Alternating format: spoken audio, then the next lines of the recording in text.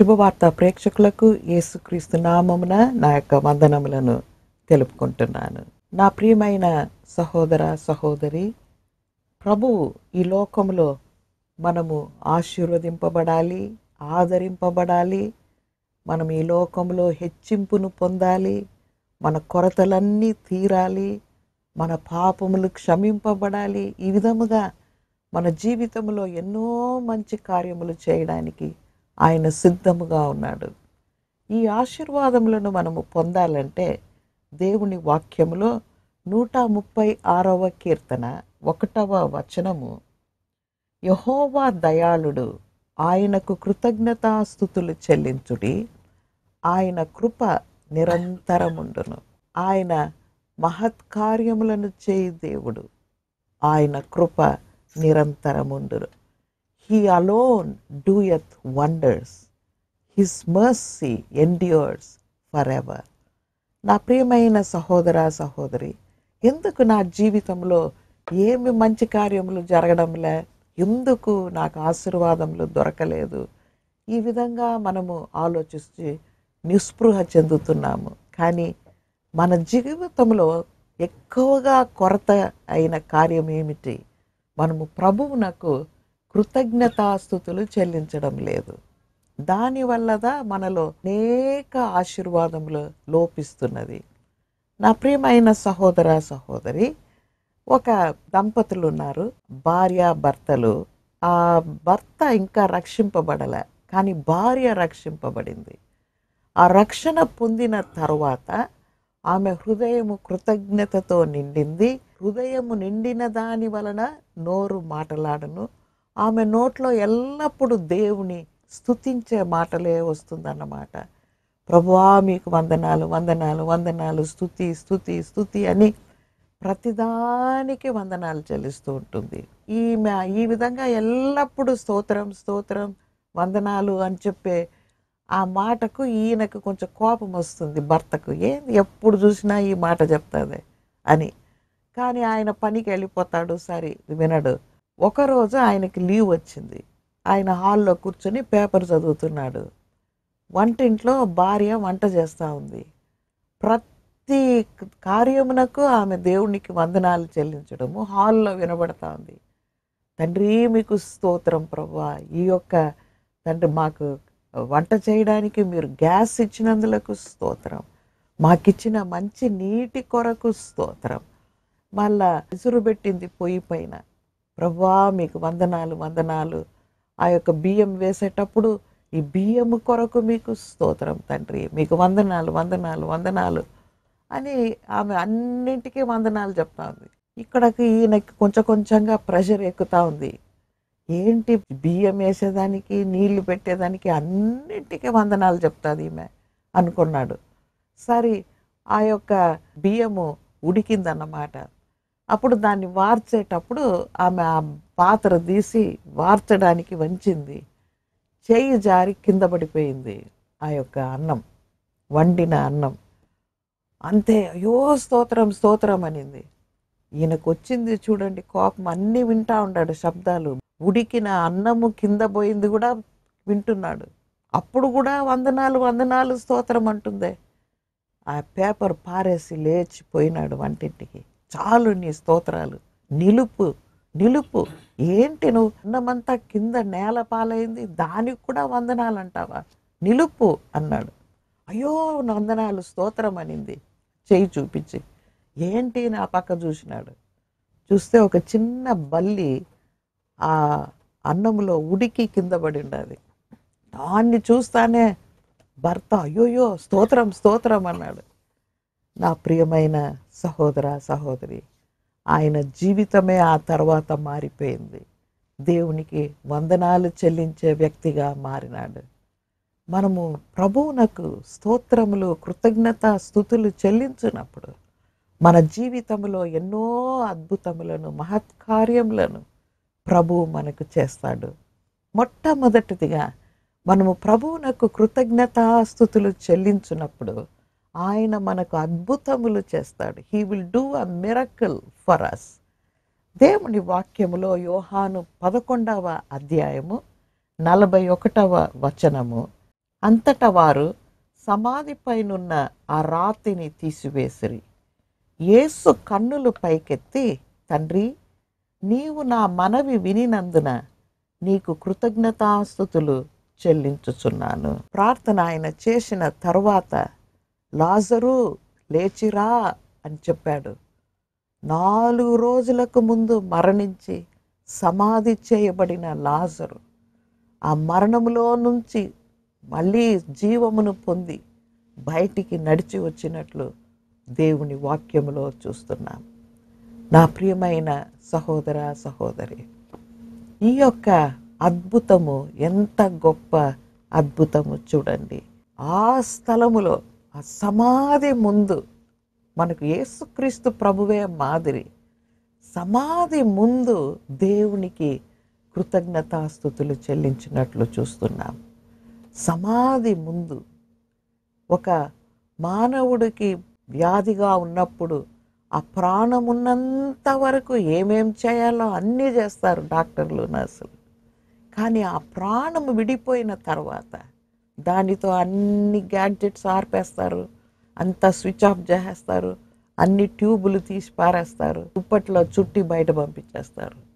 ఆ యొక్క మార్చురీకి. కంప్లీట్గా ఇంకా వారి చేయడానికి ఏమీ లేదన్నమాట. అటువంటి పరిస్థితి మరణము ఈ యొక్క లాజరు మరణించి నాలుగు రోజులు. నా ప్రియమైన సహోదర సహోదరి అటువంటి వాని సమాధి ముందు యేసుక్రీస్తు ప్రభు కృతజ్ఞతాస్థుతులు చెల్లించినాడు. మీరు నా మనవి వినినందులకు మీకు కృతజ్ఞతాస్థుతులు చెల్లించుచున్నాను. నా ప్రియమైన సహోదర సహోదరి మన పరిస్థితి కూడా అనేక కార్యములలో నిస్పృహతో మనము జీవిస్తూ ఉండొచ్చు. ఎంతనో ప్రార్థించినాను ఎన్ని రోజులు ఎన్ని నెలలు చేసినాను నాకు ఏమీ జవాబు రాలేదు. నా పరిస్థితిలో ఏ మార్పు లేదు. నా ఉద్యోగంలో మార్పు లేదు. నా భర్త జీవితంలో మార్పు లేదు. నా బిడల జీవితంలో మార్పు లేదు. ఈ విధంగా ఎన్నోసార్లు సోలిపోతున్నాం. నిస్పృహ చెందుతున్నాం. నేను ఇంత ప్రార్థన చేసి ఏమి ప్రయోజనం? ఇంతగా ఉపవాసము చేసి ప్రార్థించినానే ఏమి జరగలేదే. నా ప్రియమైన బిడ్డ నీ యొక్క ప్రార్థనలు ఇప్పుడు నిలిపి నీవు కృతజ్ఞతాస్థుతులు చెల్లించడానికి మొదలుపెట్టు. ప్రభువు నీ ప్రార్థనను వినినాడని విశ్వసించి ఆయనకు కృతజ్ఞతాస్థుతులు చెల్లించాలి. దేవుని వాక్యంలో రాయబడింది ఫిలిపీలకు రాసిన పత్రిక నాలుగు ఆరు దేనిని గూర్చి చింతపడకుడి? కానీ ప్రతి విషయంలో ప్రార్థన విజ్ఞాపనముల చేత కృతజ్ఞతాపూర్వకముగా మీ విన్నపములు దేవునికి తెలియచేయడి. దేవునికి తెలియచేయడి. కృతజ్ఞతాపూర్వకముగా దేవునికి మనము తెలియచేయాలి. నా ప్రియమైన బిడ్డ మనలో ఉన్న కలవరము భయము వీటినన్నింటినీ మనము పారద్రోలి. మనము ప్రభువుకు కృతజ్ఞతాస్థుతులు చెల్లించాలి. అప్పుడే మనకు అద్భుతం జరుగుతుందన్నమాట. తప్పకుండా దేవుడు మన విశ్వాసమును చూసి మనము ప్రార్థన చేసినది ఆయన విన్నాడు. మన విజ్ఞాపన ఆయన విన్నాడు. దానికి బదులు ఇచ్చి ఇస్తున్నాడు అని మనము విశ్వసించాలి. విశ్వసించి మనము కృతజ్ఞతాస్థుతులు చెల్లించినప్పుడు ప్రభు యొక్క కరము మన కొరకు క్రియ చేస్తుందన్నమాట. మన యొక్క విశ్వాసము మరణిస్తున్న విశ్వాసం మళ్ళీ పునరుద్ధానం పొందుతుంది. నా ప్రియమైన సహోదర సహోదరి ఒక నైవేలిలో ఒక కుటుంబము క్రైస్తవ కుటుంబము దేవుని ప్రేమించే కుటుంబము ఒక్కగానొక్క కూతురు ఆ అమ్మాయికి పెళ్ళి చేశారు. ఆ బిడ్డకు పెళ్ళి అయిన తర్వాత మూడు నెలలలో ఆమెను వదిలి వెళ్ళిపోయినాడు. ఎక్కడ పోయినాడో తెల్ల. వెతుకుతున్నారు వెతుకుతున్నారు అంత బంధువుల ఇండ్లలో పోయి వెతికినారు అందరికీ చెప్పినారు పోలీసుకు చెప్పినారు అందరి దగ్గర అడిగినారు ఎక్కడ ఎక్కడ ఎక్కడ తెల్ల. ఎంతనో ప్రయత్నాలు చేశారు. డిటెక్టివ్ని కూడా పెట్టారు ఎక్కడ పోయాడు తెల్ల. అప్పుడు వారికి చాలా కష్టమైపోయింది. ఎందుకంటే దేవుని ప్రేమించే కుటుంబం. ఉపవాసముతో ప్రార్థన చేయడానికి మొదలుపెట్టారు ప్రభువు దగ్గర ఎంతనో విజ్ఞాపన చేశారు. కానీ ఆయన ఎక్కడ పోయినాడో తెల్ల తిరిగి రాలే. ఆ యవ్వన బిడ్డ చాలా దుఃఖముతో నిండిపోయింది. అప్పుడు వారింటికి ఒక దైవ సేవకుడు వచ్చినాడు ప్రార్థన చేయడానికి. ఆయన సంగతి అంతా విన్నాడు. తన ఇంటికి పోయి మళ్ళీ ప్రార్థించినాడు. ఇంత భయంకరంగా నన్ను వదిలిపోయినాడే అట్లా అని ఆయన్ను శపించి శపించి భర్తను ప్రార్థిస్తుంది. ఒక్క రోజు కూడా ప్రభువా నీకు వందనాలు స్తోత్రములు. నా జీవితంలో మీరు చేసిన మేలు కొరకు వందనాలని నేను ఎన్నో మేళ్ళు చేసినాను. వాటిలో ఒక్కటి కూడా తలంచి చూడదు ఆ బిడ్డ. ఆ బిడ్డ నోటిలో శాపం మాత్రమే వస్తూ ఉంది. నా ప్రియమైన దైవ సేవకుడా ఆ పిల్లకు చెప్పు. నోరు తెరచి స్థుతించడానికి చెప్పు. భర్త కొరకు వందనాలు చెప్పమను. సరే ఆయన వాళ్ళ ఇంటికి పోయినాడు. ఆ అమ్మాయిని పిలిచినాడు. అమ్మా నీకు అద్భుతము కావాలా? అవునండి కావాలి. ఇక మీదట నీవు నీ భర్తను శపించకూడదు. నీ భర్తను నీవు ప్రార్థనలో తిట్టకూడదు. ఇక మీదట నీ భర్త కొరకు దేవుని దగ్గర వందనాలు చెప్పాలి. స్తోత్రములు చెప్పాలి. అది ఎట్లండి? నన్ను వదిలిపోయిన భర్త కొరకు నేను వందనాలు చెప్పగలను. నీ ఇష్టం అద్భుతము కావాలంటే చెయ్యి. ప్రభువు చెప్పినట్లు చెయ్యి. ఆయనకు విధేయురాలై చెయ్యి. సరే ఆయన వెళ్ళిపోయినాడు. ప్రార్థన చేసి ఈమె తన గదిలోనికి వెళ్ళింది మోకాళ్ళు వేసింది. వెంటనే ఆ శాపం ప్రార్థనగా వస్తుంది. కానీ ఆ రోజు ఎందుకు నేను ప్రభువు చెప్పినట్లు నేను వినకూడదు అని చెప్పి మెత్తగా ప్రార్థన చేయడానికి మొదలుపెట్టింది. దేవునికి స్తోత్రం చెప్పడానికి మొదలుపెట్టింది. ఆ మూడు నెలలు ఆ వ్యక్తి చూపించిన ప్రేమను జ్ఞాపకం చేసుకొని ఆయన కొరకు స్తోత్రములు చెప్పింది వందనాలు చెప్పింది. ఇన్ని నెలలు అయిపోయింది రాకుండా. అయినప్పటికీ దేవుడు వృద్ధాప్యంలో ఉన్న తల్లిదండ్రులను కాపాడినాడు. మీకు వందనాలు ప్రభు నాకు కూడా ఎంతనో ఆదరణ ఇచ్చినారు. మీకు వందనాలు. ఈ విధంగా ఒక్కొక్క దానికి ఆ బిడ్డ దేవునికి వందనాలు చెప్పడానికి మొదలుపెట్టింది. ఆ వందనములు చెప్పను చెప్పను చెప్పను. ఆమె హృదయంలో గూడు కట్టుకొనిన సమస్త చీకటి ఆమెను వదిలి వెళ్ళిపోయింది. నా ప్రియమైన సహోదర రోమీలకు రాసిన పత్రిక ఒకటి ఇరవై ఒకటి మరియు వారు దేవుణ్ణి నెరిగియు ఆయనను దేవునిగా మహిమపరచలేదు కృతజ్ఞతాస్థుతులు చెల్లింపలేదు తమ తమ వాదముల యందు వ్యర్థులైరి వారి అవివేక హృదయము అంధకారమయమాయను. ఆ బిడ్డ అంధకారము వెళ్ళిపోయింది సమాధానం వచ్చింది విడుదలతో దేవుణ్ణి స్థుతించడానికి మొదలుపెట్టింది. ఒకే ఒక వారంలో భర్త మళ్ళీ తిరిగి వచ్చాడు. ఎక్కడో వెళ్ళిపోయిన అతన్ని ప్రభు ముట్టి మళ్ళీ తీసుకొచ్చాడు.